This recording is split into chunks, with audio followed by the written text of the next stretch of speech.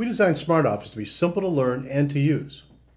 There's really only two basic principles you need to understand. You're either going to start something new or you're going to manage something.